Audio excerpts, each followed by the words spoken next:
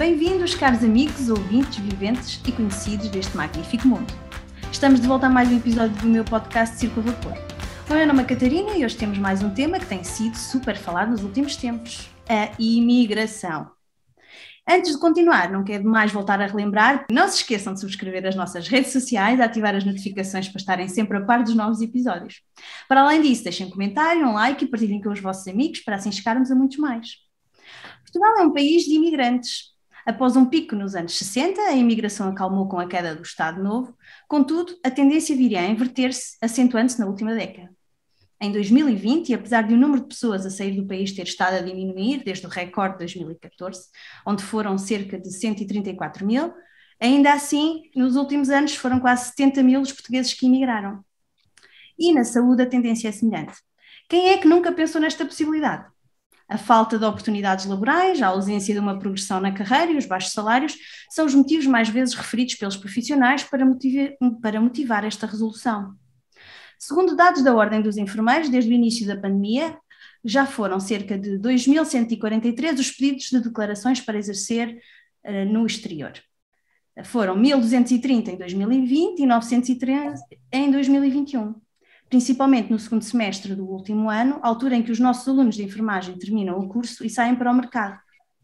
Importa referir que no último ano o número total de enfermeiros que manifestaram intenção para emigrar corresponde a cerca de um terço dos novos enfermeiros formados anualmente pelas escolas portuguesas. O destino mais escolhido é atualmente a Suíça, Espanha e o Reino Unido, e, em último, também um pouco os Emirados Árabes Unidos. Mas para nos falar um pouco mais sobre esta realidade e partilhar a sua experiência, temos connosco a enfermeira Marta. Emigrar é o seu nome do meio, isto porque ela fez sempre isto a vida. A Marta, a Marta, a Marta é enfermeira, licenciada pela Escola de Enfermagem do Porto há seis anos, e a sua vida profissional foi sempre feita fora de Portugal. Logo que termina a licenciatura, arruma à Inglaterra, onde trabalha no Serviço de Medicina e nos cuidados intensivos do Hospital Royal Brompton. Mas em 2018 muda de direção e decide mudar-se para a Suíça, onde trabalha primeira, primeiramente no Hospital de Montreux e atualmente presta cuidados de enfermagem no Serviço de Cuidados Médicos ao domicílio em Mores. Com o lago Lemã sempre como pano de fundo, estabeleceu-se em terras helvéticas para construir a sua vida. Mas sentindo que podia dar mais aos seus compatriotas e colegas, criou um espaço na internet que tem como título Enfermagem na Suíça, onde partilha diversas informações sobre o que fazer e como fazer para chegar à Suíça, poder trabalhar lá. E assim partilha curiosidades sobre o estilo de vida suíço. Bem-vinda, Marta. Obrigada por teres aceito o meu convite e por poderes dar a todos o teu projeto, a tua história de vida, principalmente pelo mundo, e por ajudar os profissionais de saúde a estabelecerem-se e a perceberem melhor os costumes e as práticas de vida helvética. Assim, acho que tudo se torna mais fácil. Olá, Catarina, muito obrigada e uh, olá a todos que nos estão a ouvir. Um, obrigada eu pelo convite, é com, com muito gosto que estou aqui para, para falar um bocadinho da, da minha experiência que, como tu disseste, uh, sempre foi, foi fora, não é? Eu estudei em Portugal, mas desde, desde mal acabei a licenciatura e migrei. Um, e, portanto, é com muito gosto que partilho a minha experiência aqui com todos, mas também na minha página de Instagram, conforme tu, tu disseste, é? Enfermagem na, na Suíça. Sim, foi através dela que eu te conheci, que eu acabei por, por perceber que tinhas feito esta ajuda a todos os que estão fora e que decidem uh, rumar fora de Portugal, não é? Para criarem a sua vida lá fora, porque por um motivo ou outro assim o decidiram. E eu pergunto-te logo assim já à partida, um, como é que foi, como é que foi isto de, de, de, como é que iniciaste esta tua viagem, como é que foi este teu percurso? Uh, olha, eu quando estudei enfermagem no Porto, não é?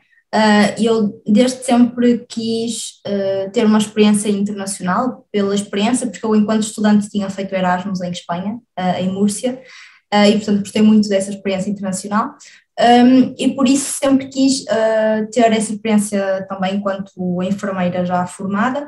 Ao mesmo tempo, tinha um muito claro. Desculpa. Ao mesmo tinha um objetivo muito claro que era trabalhar, eh, eu queria trabalhar num serviço onde eu pudesse pôr em prática um, ehm, ao máximo os procedimentos de enfermagem que eu tinha aprendido na, na escola de enfermagem, uhum. na ESEP, e então eu decidi que a serviço ia ser medicina e eu queria trabalhar no hospital público. Eh, na altura já era difícil para conseguir arranjar um trabalho sem termo e, e a verdade é que hum, as empresas de recrutamento enquanto estavam em força em Portugal a recrutar, portanto era muito fácil, nós podíamos escolher o hospital, a cidade, etc. Uh, e portanto eu decidi escolher uh, Bournemouth, no sul, como tu bem disseste, identifiquei muito, eu tinha também a hipótese de ir para Southampton ou para Portsmouth, uh, e, e então identifiquei-me logo quando comecei a pesquisar pelas três cidades, eu tinha amigos e colegas nas, em Southampton e em Portsmouth, Uh, e depois identifiquei-me logo com Bournemouth, mas não tinha lá ninguém. Então fiquei um bocadinho indecisa, não sabia qual é que havia de escolher, na verdade. Só quando eu pesquisei, não me identifiquei nada com a cidade, portanto eliminei logo. E fiquei então entre as duas. Bournemouth, uh, eu identifiquei muito, tinha umas praias que pareciam o Algarve, e aquilo parecia que me fazia sentir em casa só de, só de pesquisar, já, já me via lá a morar, mas não tinha lá ninguém enquanto que Portsmouth uh, tinha lá algumas pessoas. E então decidi marcar as entrevistas para estas duas cidades e disse é o destino que vai decidir. A primeira onde eu ficar com o emprego, é a primeira que eu vou. E portanto fui à entrevista de Bournemouth e depois ia a entrar no carro para a entrevista para Portsmouth, uh, que entretanto tinha sido antecipada. Uh, e o meu telefone toca e dizem-me conseguiu o emprego em Bournemouth, portanto eu já nem sequer pensei duas vezes, nem sequer fui para, para Portsmouth e decidi. Um, e a verdade é que passado algum tempo fiquei um bocadinho um, passado quase três anos de lá estar, começou o Brexit, amigos a saírem, um, e eu fiquei um bocadinho cansada também porque onde eu morava não conseguia ter voos diretos para ir a casa. Então decidi fazer uma pausa na vida de imigrante, ir para Portugal e depois decidi então vir uh, começar o processo na Cruz Vermelha e vir para a Suíça. Olha, muito bem. Mas isso foi uma, essa tua vontade foi uma hum, realidade conjuntural de saíres ou empurrada um bocadinho pela conjuntura nacional que se vivia na época, não é? De falta de trabalho, de contratos definidos, mais seguros, menos, menos uh, com um termo tão, tão definido, não é? Porque havia muito trabalho precário. Sim. Foi mesmo isso ou havia essa, já aventureira, essa aventura já vinha lá no sangue e tu estavas mesmo, era mortinha para sair? Uh, há um, um bocadinho dos dois, uh, mas talvez no início mais, uh, mais este espírito de aventureira e, e, e ser curiosa e gostar de, de conhecer o mundo e, e novas culturas. atualmente é mais pela conjuntura, se eu faço a comparação entre quando eu fui para a Inglaterra e, e agora, agora neste momento eu estou, pela, estou fora pela, pela conjuntura e pelas condições que, foi, que o país não nos oferece. Uh, eu acho que sim, eu acho que mesmo que eu tivesse todas as condições para ficar, que eu teria ido na mesma, simplesmente por um período de tempo limitado, não é? Claro. Uh, para, para viver uma experiência e, e então, como é que foi isso? Como é que te sentiste em Inglaterra? Quais foram as maiores dificuldades que te sentiste quando chegaste a esse país diferente? Olha, a maior dificuldade foi logo assim de caras a língua, porque quando eu fui não era obrigatório fazer nenhum exame, ainda, hoje em dia é, uh, e eu sempre estudei inglês na escola, não é? sempre fui boa aluna, portanto eu nunca pensei que, eu, que fosse uma necessidade, portanto eu só fui, nem pensei nisso. Uh, e, e, a verdade é que a primeira, primeira passagem de turno que eu assisti foi o choque total. Eu só pensei, oh meu Deus, eu não percebo nada que eles estão a dizer, como é que eu vou ser enfermeira, porque eu nem sequer percebo o que é que os doentes têm. E decidi, bem, vou pegar num processo de um doente, porque se calhar escrito percebo melhor. E de facto reparei que eles usavam imensas siglas para tudo e abreviaturas, e, e eu pensei, oh meu Deus, isto aqui também não me está a ajudar. Uh, e, então esse choque foi realmente a parte mais, mais difícil e depois uh, perceber que por muito bom que sejamos numa língua, num idioma, cada sítio tem as suas expressões e o seu sotaque e portanto uhum. este choque acontece sempre, por, por, por muito bem preparados que, que estejamos, um, há coisas que nenhuma escola ensina, porque é muito próprio daquele sítio onde nós estamos. É quase um bocadinho nós quando eu digo sempre isto, dou sempre este exemplo, que é quando na Madeira ou nos Açores, não é? quem está no continente e ouve esse sotaque, às vezes nós temos alguma dificuldade, se calhar, em perceber certas palavras, e são os portugueses. É verdade, então, às vezes aparecem as legendas por baixo das pessoas, portanto, e, não é? Exatamente, e é a nossa língua, portanto, imagina, imaginemos uh, ir lá para fora e ser outro idioma, portanto, isso foi o, o primeiro, o primeiro choque. Um, e diria que talvez, mas pronto, mas depois com o tempo tudo se ultrapassa, tudo se aprende e, um, e tudo rola. e então, e essa maior dificuldade, então qual foi a maior vantagem de ter ficado algum tempo em Inglaterra? O que é que tu sentiste que conquistaste lá uh, e que ganhaste com essa tua experiência de passagem por, por, pelos países ingleses? Pela inglês, desculpa, pela Inglaterra. Sim, olha, o que eu ganhei foi sem dúvida a minha independência financeira, não é? Uhum. Uh, foi também um orgulho enorme, porque depois de ultrapassar todos aqueles obstáculos, eu continuei lá e, portanto, uh, foi também foi muito gratificante perceber uh, a mulher resiliente em que me tornei, não é? Com estas experiências que tenho tido. Ao mesmo tempo, um, também foi muito bom no sentido de, no sentido de abrir eh, horizontes e conhecer, estar aberto a novas culturas, a novas pessoas, a novas formas de, de viver e de estar. Isso também foi muito enriquecedor, porque realmente a Inglaterra tinha as pessoas de todo o mundo. Um, e foi muito interessante perceber as diferenças entre, entre cada, cada cultura. E, um, e também, sem dúvida, a nível profissional foi muito gratificante, porque a Inglaterra investe bastante na formação contínua dos, dos enfermeiros. Portanto, nós tínhamos muitas formações ao longo do ano, e isso foi, sem dúvida, uma mais-valia para ganhar prática clínica durante este meu percurso, e, e foi, sem dúvida, uma ótima opção. Se bem que a Inglaterra tem um modelo um pouco diferente daquilo que nós estamos habituados cá em Portugal, não é? Uh, isso, isso fez-te alguma confusão, porque aquilo que nós aprendemos na escola, quando saímos da licenciatura, tem um modelo, não é? Que é o nosso, português, da forma como depois nós vamos fazer a prática uh, da enfermagem no dia a dia, e Inglaterra é um pouco diferente. Uh, queres partilhar também um pouco essa experiência? Claro, é assim, ao início, é verdade, a Inglaterra é diferente porque a nossa licenciatura, comparativamente à Inglaterra, tem uma componente prática muito grande. Eh, os alunos em Inglaterra, para já, o curso é, é menor tempo, é de 3 anos, e depois os alunos não podem eh, praticar, os alunos podem fazer cuidados de base, mas depois, eh, mesmo preparar a medicação endovenosa, eles não podem. O que acontece é que quando saem da escola de enfermagem, eles não estão minimamente preparados a nível técnico e prático para executar procedimentos, os procedimentos de enfermagem. Então, o hospital paga os cursos, por exemplo, nós quando lá chegamos, eh, para podermos dar medicação oral, temos de fazer uma ronda por todos os pacientes, por exemplo, uma, uma manhã, não é? Com a enfermeira-chefe do serviço, em que ela vai connosco e depois tem de assinar um papel a dizer, ok, esta enfermeira é segura, pode dar medicação oral. Mesma coisa para, para a medicação endovenosa, para, para, para pôr um catéter, temos que fazer um curso de uma manhã como é que se faz um catéter depois temos de ter três pessoas a assinar e a validar que já sabemos pôr um catéter e a partir daí pôr um catéter, já podemos pôr catéteres. Portanto, é um bocadinho assim que acontece, por exemplo, aconteceu uma vez estar um, ehm, contra a medicina, não é?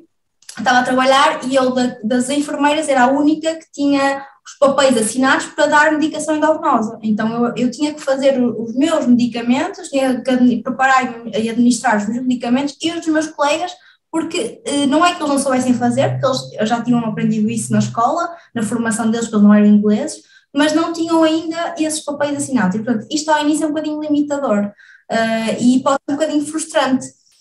Mas ao início, depois de estarmos lá, uh, tudo, tudo passa e é, é, são os, os, obstáculos e as, não é bem obstáculos que eu quero dizer, mas são as etapas iniciais que todos passamos, mas é, é só o início e depois, e depois tudo, tudo passa e tudo volta ao normal ou ao mais, ao, ao mais parecido connosco, na verdade, com Tu tiveste depois uma experiência também nos cuidados intensivos, não é? Que te deu alguma uhum. bagagem.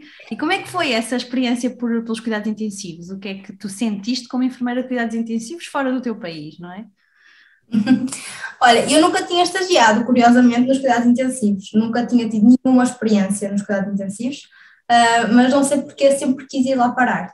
E realmente a escola foi, uh, foi um crescimento a nível profissional, mas também a nível pessoal. Nós era um serviço ainda com bastantes camas e nós tínhamos muita formação contínua, tínhamos inclusive duas enfermeiras que eram responsáveis pela nossa formação e que uh, vinham ter connosco e diziam, olha, o que é que não te sentes tão à vontade, o que é que gostavas de aprender, o que é que gostavas de melhorar, e organizavam dias de estudo em que ou, ou traziam uh, outras, outros profissionais de saúde, como físios, médicos, para, para nos falar daquele tema, uh, ou elas próprias nos ensinavam, nos intensivos, há muito, muitas máquinas, não é? Uhum uma máquina que nós não sabíamos uh, muito bem ainda mexer com aquilo, elas traziam uma máquina e fazíamos um, um, um dia sobre isso, por isso um, realmente deu uma bagagem muito grande e depois uma estrutura emocional também, porque os, os cuidados intensivos é um serviço onde as pessoas, uh, onde há muitas mortes, não é? Então lidar com,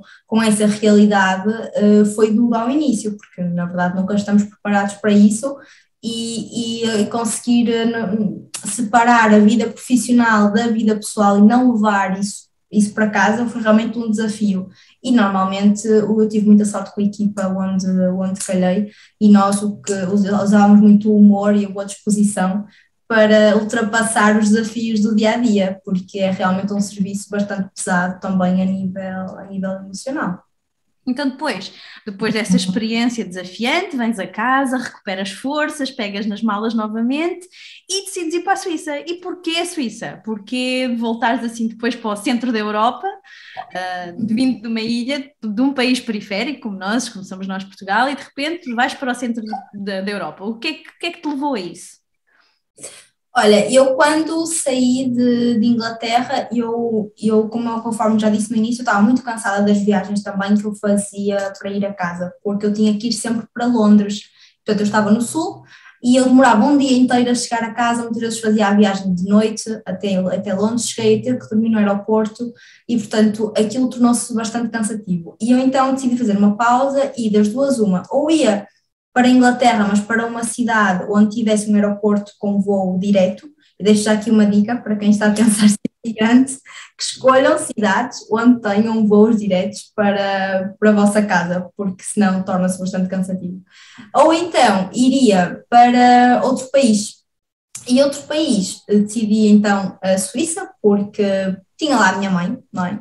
o que foi uma grande ajuda, mas ao mesmo tempo porque era um, um país onde eu onde eu tinha um salário melhor, onde eu tinha uma melhor qualidade de vida, até porque o clima na Suíça no verão é muito melhor do que a Inglaterra.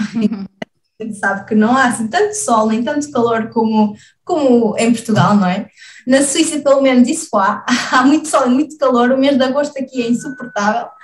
Um, e então, e também a nível do poder de compra, porque aqui acaba por ser superior se, se comparativamente à Inglaterra. Ao mesmo tempo, estava perto de, de, um aeroporto, eu moro perto de Lausanne, portanto tem um aeroporto em Genebra, uh, que é 40 minutos, portanto posso ir de comboio, posso mesmo ir de carro, é muito mais prático, não, não, tem, não, não demora um dia a chegar a casa, não é? nem pouco mais ou menos. E, um, e depois por todas as vantagens que a Suíça tem, não é? É um serviço extremamente organizado, é um serviço onde há progressão salarial também, todos os, todos os anos o nosso salário é aumentado. Uh, e, é um, e, é um, e é um país onde existe progressão de carreira. Aqui as especialidades são valorizadas e aqui há a possibilidade de fazer uma formação um, noutra especialidade, numa especialidade, na verdade, e muitas vezes paga pelo empregador. Portanto, depende. Sim, sim, diz. Isso depende sempre da, da, das, das, necessidades do empregador, não é? Uh, mas posso dar um exemplo agora onde eu trabalho, tenho um colega que trabalha comigo, uh, ele é enfermeiro generalista, mas gostava de ser enfermeira em saúde mental. Estão a precisar de uma enfermeira em saúde mental e, portanto, uh, vão, ele vai fazer esta especialidade e vai ser paga pelo CMS, portanto, por onde eu trabalho. Portanto, e mais importante do, do, que isso é também o facto de ter eh, um contrato sem, sem termo aqui. É muito fácil conseguir trabalho e realmente não tens, não tens, tens um contrato sem termo, um trabalho fixo. Sim, não há aquela volatilidade de repente eu vou terminar o meu contrato e não vou saber para onde é que vou, eu vou ficar sem o meu salário, que é muito fundamental para a minha vida, não é? E isso é importante. Exatamente. Eu ia te perguntar, então, se de repente eu decidisse ir para a Suíça, que processos é que eu devo iniciar? O que é que me. Por onde é que eu devo começar? Porque. Uh, como é que faço? Diz-me tu, assim, para quem não sabe nada. Olha, para já tens que pesquisar sobre o país, porque um, uma das coisas fundamentais é estudar o idioma. E na Suíça tens quatro idiomas, não é? Uh, e então, para já, é escolher uh, o idioma o, o, e também a cidade para onde tu queres ir. Se tu vieres, escolheres, imagina, eu gosto mais da parte francesa, então vais ter que estudar o francês. Eu gosto mais da parte alemã, então vais ter que estudar o alemão. Se gostares mais da parte italiana, então vais ter que estudar o italiano. Por isso, o, o fundamental é para onde é que eu vou. Uma vez que escolhes para onde é que tu vais, é começares a estudar a, a língua. Uh, no decorrer desse processo, tens de iniciar o reconhecimento do diploma na Cruz Vermelha Suíça, que é isto dizer que a Cruz Vermelha Suíça tem que atestar que realmente a tua formação enquanto enfermeiro cumpre com os requisitos uh, e com os estándares suíços. Normalmente nós, uh, Portugal, não temos problema nenhum, cumpre sempre, não é? mas temos de passar por esse processo. Uh, a nossa formação é reconhecida aqui, sem dúvida nenhuma. E, portanto, tens de começar um processo longo e burocrático através da Cruz Vermelha, Hoje em dia eh, isso começa-se online, é muito prático, digitalizas os documentos e envias. E, portanto, no decorrer deste processo, um dos documentos que vai ser pedido é um certificado do nível B2, no mínimo, do idioma. E, portanto, o que vais ter que fazer é um exame ou de francês, ou de alemão, ou de italiano, Uh, um exame que seja reconhecido por eles, portanto, existe uma lista, não é qualquer exame como antigamente. Uh, eu, por exemplo, no meu caso, para o francês, eu fiz o TCF, e depois, um, em todas as componentes desse exame, vais ter que ter o B2. E, uh, e depois vais ter que ter traduzido os teus documentos que eles te vão pedir e autenticá-los também. E depois de teres então o teu reconhecimento terminado, podes então começar a enviar a tua candidatura e, e tentar encontrar trabalho aqui. Ok, eu posso fazer candidaturas espontâneas ou não? Eu tenho que me submeter a uma agência. O que é que eu tenho que fazer? A seguir a esse passo. Passo tudo isso e estou pronta uhum. para me mudar de armas e bagagens para a Suíça, no caso, estamos a falar. O que é que eu faço a seguir? Uh, o que tu fazes a seguir, para concorrer para ofertas de emprego, tu tens várias opções. Aqui também se usa muito candidaturas espontâneas. Podes ir diretamente, por exemplo, escolher a cidade para onde queres ir, identificar-se com aquela cidade, queres ir morar para lá, então começas a pesquisar o hospital, as clínicas, lares, domicílios que há naquela zona e, uh, e, e podes entrar diretamente nas páginas daquele hospital ou o que for e tem sempre lá um separador com as oportunidades de, de emprego. Portanto, podes começar por aí. Existe um site que eu também uh, já fiz uma publicação sobre isso, o site que eu consegui, uh, onde eu consegui arranjar emprego, chama-se jobup.ch, que tem lá imensas ofertas de emprego sempre, portanto podes começar por aí. Uh, relativamente a agências, também muita gente me pergunta isso, vou por agência ou não vou por agência. Para a parte alemã, há algumas agências que recrutam, efetivamente. Para a parte francesa não há tantas. Uh, se me perguntares assim, eu preciso de uma agência para ir para a Suíça? Não, não precisas, eu sou prova, não é? Eu fiz tudo sozinha e estou cá. Dá mais trabalho? Dá. Uh, eu tive as duas, eu tive as duas diferenças, portanto, eu fui para a Inglaterra por uma agência e, portanto, isso ajudou-me uh, a perceber os meus primeiros passos e mesmo a nível dos documentos que eu precisava, etc. Isso foi um apoio. Uh, apoio esse que não tive aqui na Suíça e acabou por demorar mais tempo.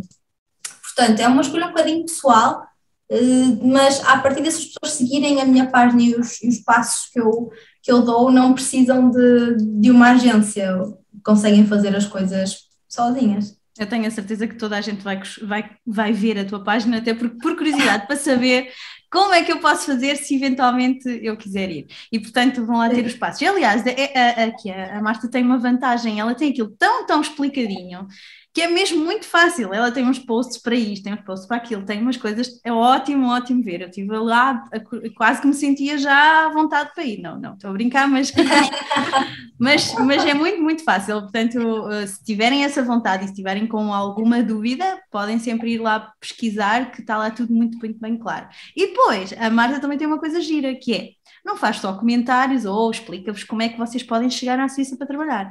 Ela também vos explica um pouco sobre curiosidades da vida helvética, o que é muito engraçado. Eu achei muito curioso, porque ela, por exemplo, partilhou uma, uma coisa sobre as caixas do correio, que eu, que eu achei muito giro. Mas, mas queres-nos explicar, porque é mais fácil seres tu a explicar do que eu. Sim, uh, eu acho que, lá está, nós quando vimos para um país, só quando cá chegamos é que temos noção que há coisas, claro, há pontos que se tocam com a nossa cultura, há, há coisas similares, mas depois há, há uma enorme diferença entre, às vezes, coisas tão básicas como uma caixa de correio e nós nem sequer pensamos, pensamos nisso. E eu, eu adoro perceber estas diferenças entre países, entre culturas, entre, e, e, é um bocadinho por esta, por esta minha curiosidade e por este meu interesse que eu também acho que levo isso até às pessoas que me seguem, porque acho que é muito giro. E neste caso particular das caixas de correio, eu acho o máximo, porque realmente aqui as caixas de correio tu tens um, um compartimento para as cartas, simplesmente, não é? Uhum. Um compartimento para, embaixo, para encomendas de pequeno volume. O que significa que quando tu encomendas qualquer coisa, mas não estás em casa para receber, não há problema. As pessoas, o correio simplesmente deixa na tua caixa de correio, naquele compartimento mais, mais volumoso, não é? E, uh, e tu, quando chegas a casa, vais lá, recordas a tua encomenda, é super prático. Assim como há muito hábito, olha, ainda agora, por exemplo, fiz uma encomenda e uh, o que, é que, que, é que, eu, que é que eu tive que fazer? Tive que preencher um formulário para eles me deixarem encomenda à porta do meu apartamento. Ou seja, eu não tenho que estar preocupada em estar em casa. Eles, eu dou-lhes o código da entrada, não é?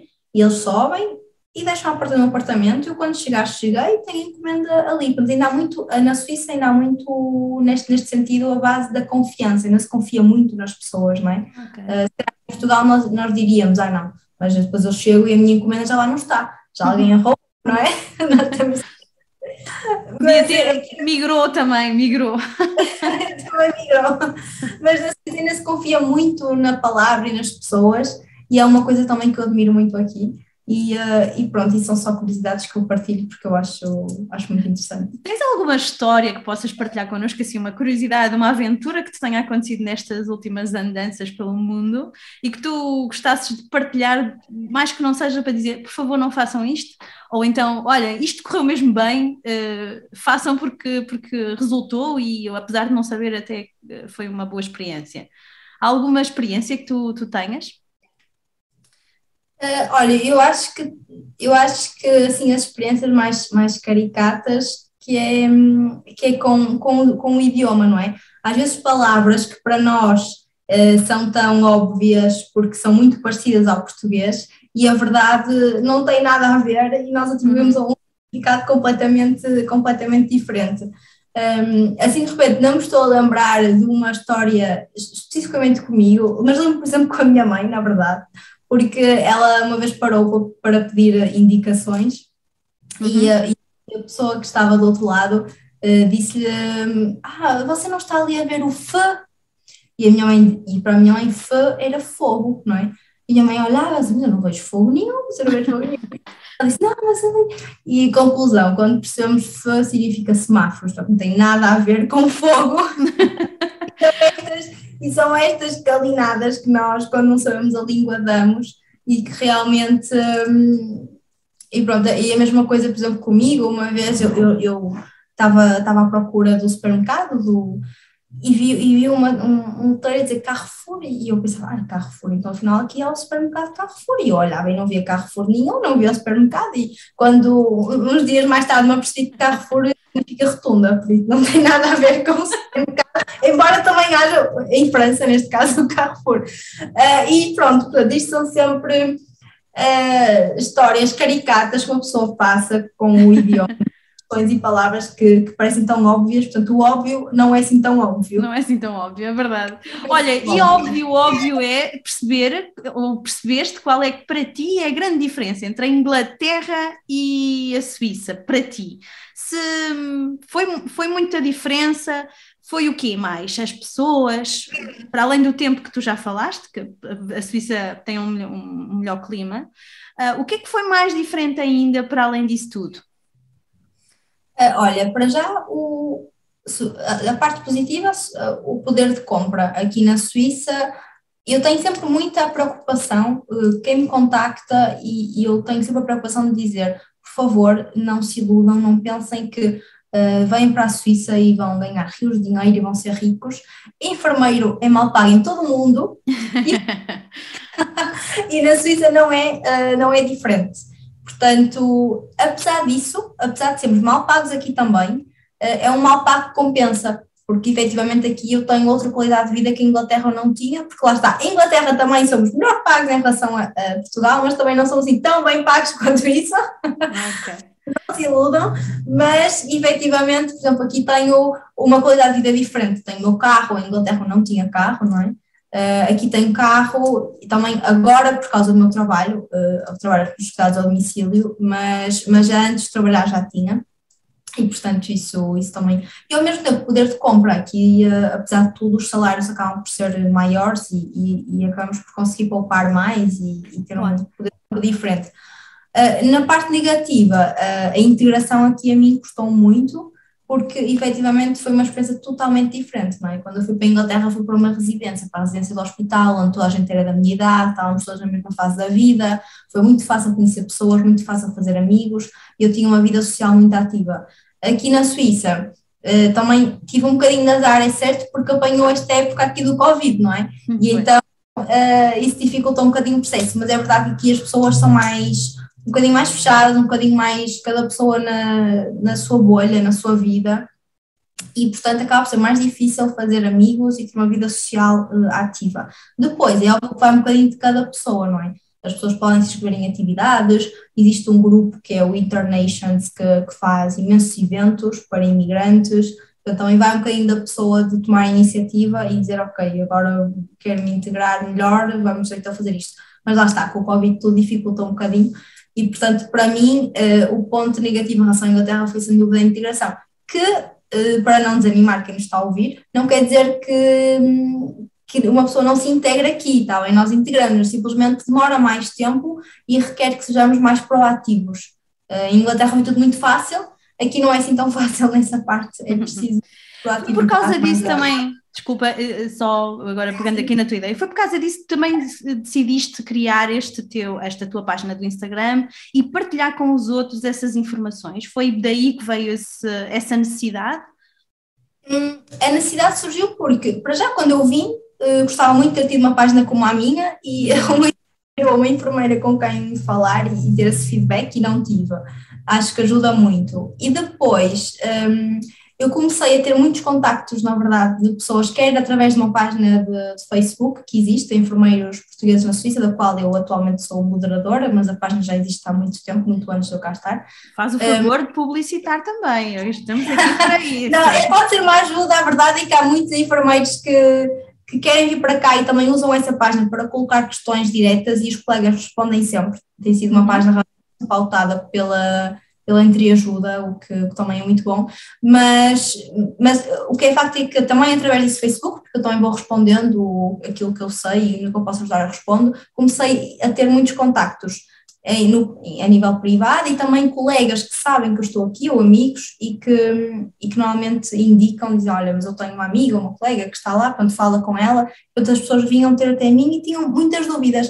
Eu comecei a perceber que as dúvidas daquelas pessoas eram as dúvidas que eu tinha ao início uhum. e que eram eu pensei assim, mas eu estou aqui a repetir o tempo todo, eu não tenho problema nenhum em, em me repetir, em dar essa informação, mas era tão mais prático se eu tivesse um espaço onde eu pudesse reunir a informação toda para toda a gente. Um, e, uh, e foi assim que surgiu a página, foi, foi realmente pegar nas dúvidas que eu tinha, nas dúvidas que me foram chegando até, até aqui e, e compilar tudo num, neste projeto e, claro, um, um dos meus desejos é realmente criar uma comunidade de enfermeiros portugueses aqui na Suíça. Uh, e já fui dizendo isto às pessoas que me vão contactando, que se elas vierem para aqui para a parte francesa, que vamos criar um grupo fixe de pessoas que estão felizes aqui e que se integram e vamos fazer alguns eventos entre nós, porque essa parte e esse apoio é muito importante quando estamos imigrados e, portanto, esse é, esse é um dos meus grandes projetos que, que espero muito que venha a acontecer um dia. Eu adoro, adoro a ideia e, por favor, convidem-me que eu também gosto de ir a festas, portanto... ah, mas estás convidadíssima, quem quiser quem quiser posso juntar a nós. Claro que sim, olha, fico muito feliz, tenhas essa ideia de juntar pessoas e de agregar e de ser um, um pilar para depois quem vai também estar, de sentir-se agradavelmente bem recebido, que é muito bom, é muito importante. E como é que tem sido sim. o feedback também, porque eu vi, já vi que já chegaste às notícias aí à Suíça, que já também a tua página já foi partilhada no jornal e portanto tem sido, como é que tem sido, foi uma expectativa que não estavas a contar ou, ou como é que como é que isso surgiu assim? Olha, eu, eu para ser sincera, a, a, página tem, tem crescido e tem se desenvolvido muito rápido. Uhum. Eu não estava a contar, eu sabia que o que eu ia fazer era útil, mas eu também não estava a contar de ter tantos contactos e, e, e, de, e muito menos ter um jornalista que me pediu se eu poderia dar essa entrevista, não é? esse testemunho, e portanto saiu realmente no passado domingo no, no jornal Tribuna de Geneve e no 24 Horas também, e no Le Matin Dimanche portanto, saiu nesses três jornais e, e eu não tá, esta página está-me a dar muito trabalho, porque a verdade é que organizar conteúdos, isto é tudo, isto tem muito trabalho de bastidores também, não é? E tu sabes, tu que fazes este podcast, sabes que isto parece fácil, mas dá-nos muito trabalho. Há um planeamento que é preciso fazer, há conteúdos que é preciso lançar e há pesquisas que também são feitas. Uh, e portanto, eu não estava à espera que isto desse tanto trabalho, porque isto não é a minha área, o digital nunca foi, portanto, nunca pensei que isto desse tanto trabalho, mas ao mesmo tempo está a ser tão gratificante.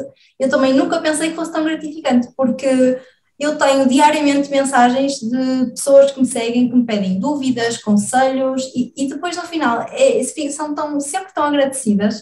Uh, ainda esta semana tive uma seguidora que me disse que estava em Portugal, mas estava a planear outra vez mudar-se para a Suíça, porque ela não era portuguesa, e que realmente eu fui, fui o empurrão que ela precisou e que, e que fui a luz na vida dela, e não sei o quê. Eu tenho tido muito, muito bom feedback das pessoas que me seguem, e é isso que me move, na verdade, um, a continuar e, e, e, a crescer ainda mais e, e, tirar os projetos que eu tenho da gaveta, que, que tenho alguns, mas que demoram o seu tempo, mas eles vão sair e, claro, ser, aparecer num jornal na Suíça tão rápido, também nunca, nunca estava, não estava à espera e fiquei super contente e é realmente muito, muito bom ter esse feedback e é muito gratificante. Claro que sim. É não é? Eu dou-te os meus parabéns e, claro, foi também através de, da tua divulgação das nossas coisas que também cheguei a ti e que espero que quem nos ouça também fique esclarecido com algumas informações que, possa, eh, que possamos ter ajudado aqui a esclarecer e, claramente, que se tiverem mais questões, vão ter contigo, perguntem, porque tu estás disponível e estamos aqui prontos todos sempre para ajudar. Por isso, e agora, olha, como eu tenho sempre aqui a minha rúbrica de à descoberta, também não vamos passar ao lado dela, eu quero muito que tu respondas às minhas questões uh, e quero muito, porque eu fico sempre muito, muito, muito contente por conhecer não só os projetos, mas a pessoa que está atrás deles. E isto é simplesmente são umas pequenas questões, nada de muito especial, mas dão-nos uma indicação de quem é a pessoa, como é que é esta pessoa. Então, espero que gostes de, das minhas questões e, e olha, e vamos lá à nossa rúbrica, pode ser? Pode ser, vamos lá. Ok, então, verão ou inverno? Verão, sem dúvida. verão. Estar em casa ou sair ao ar livre? Sair ao ar livre, sem dúvida. Comida com ou sem picante? Ui, não, sem. Nem penso sem. Branco ou tinto? Sangria. Ou um gin. ou um spritz também. É uma bebida italiana, mas que aqui na Suíça muita, muitas pessoas no verão é quase a bebida aqui do verão. Ok, boa, isso parece-me bem. A coisa que menos gostas que eu menos gosto. Uh, ah, sei lá, eu acho que sou até assim uma pessoa, faça o que, que eu menos gosto. Olha, de acordar cedo. Aqui começamos a trabalhar às sete e meia da manhã uh, e para mim custa imenso. Eu sou, não sou nada uma pessoa madrugadora, zero. E então, cedo eu não gosto. E então, e o que é que mais gostas?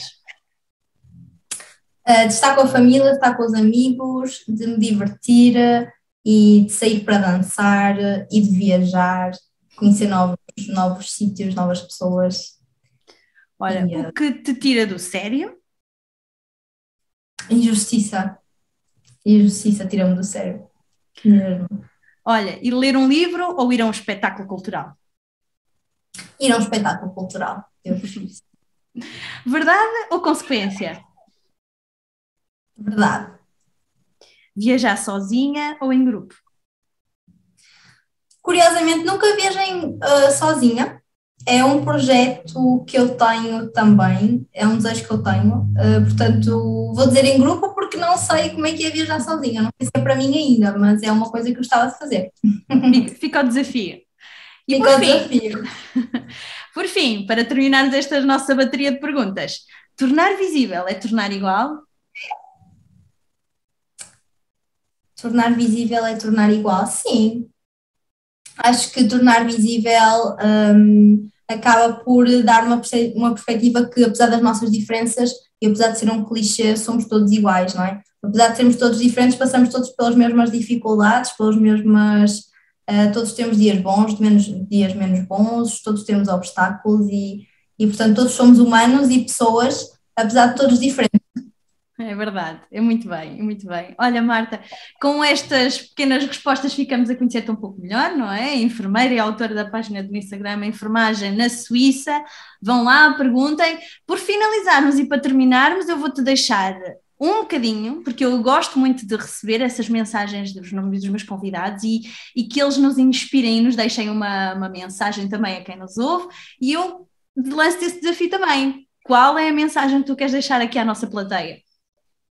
Olha, é, um, se estão a pensar em emigrar e ainda têm dúvidas, uh, eu proponho que realmente vão com medo mesmo. Dá medo, é normal, é desconhecido, mas o lema, o meu lema é sempre tenho medo, mas eu vou com medo mesmo. Por isso, vejam quais são os vossos objetivos pessoais e profissionais, o que é que vos move e só vão. E depois vocês vão perceber a pessoa resiliente que, que vocês são, se tiverem os vossos objetivos muito bem definidos e vão de certeza conseguir alcançar aquilo que, que desejam. Olha, obrigada, foi um gosto ter-te aqui connosco. É muito bom poder conhecer pessoas para além deste mundo fora que, que são profissionais de saúde, que, que falam de, desta viagem que é os cuidados da saúde e esta vida que é cuidar dos outros, não é? E eh, vou só terminar então nosso, o nosso podcast deixando-te aqui uma pequena frase que é de Marcel Proust e que diz: A verdadeira viagem da descoberta consiste não em buscar novas paisagens, mas em ter olhos novos. E assim terminamos aqui a nossa viagem, por eh, a viagem pela Suíça e pela, pelo mundo da, dos, da enfermagem além portas. Este é o podcast Círculo Vapor, o podcast de conversas soltas sobre o mundo da enfermagem e da saúde. Terminamos mais um episódio, mas não percam, porque em breve teremos também mais uma nova conversa. Até já, beijinhos!